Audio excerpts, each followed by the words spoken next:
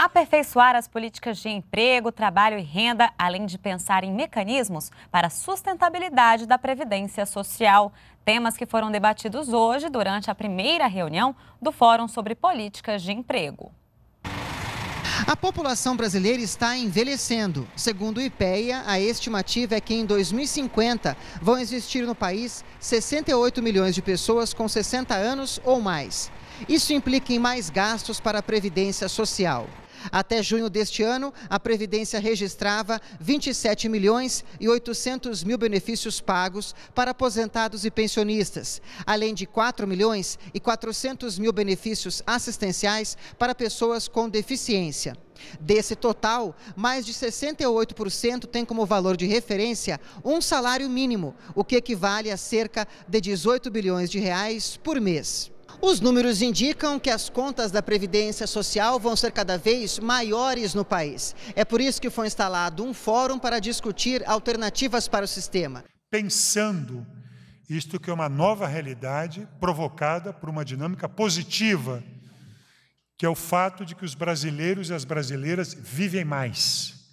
E, portanto, nós temos que pensar o futuro deste patrimônio que é o sistema previdenciário brasileiro, em cima de dois conceitos muito fortes, que é, o, que é um conceito da repartição solidária e da relação solidária entre gerações Representantes do governo, aposentados, pensionistas e trabalhadores também debateram o atual momento do mercado de trabalho, pressionado pelo ritmo mais lento da atividade econômica.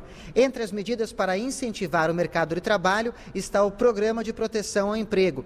Por meio dele, as empresas em dificuldades econômicas podem reduzir de forma temporária a jornada de trabalho e o salário dos trabalhadores em até 30%. E o governo complementa metade da perda perda salarial do trabalhador até o limite máximo de 900 reais por mês. Vamos melhorar um sistema público de emprego ativo, qualificando toda a estrutura de formação profissional, de intermediação de mão de obra.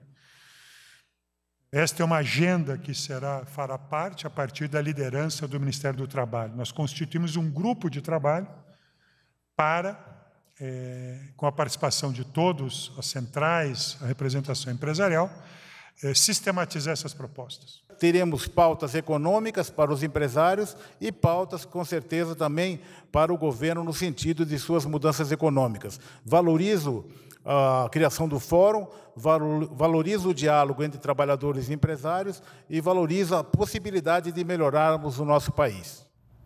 O Fórum vai continuar promovendo reuniões nos próximos seis meses e o relatório final será apresentado à presidenta em fevereiro do ano que vem.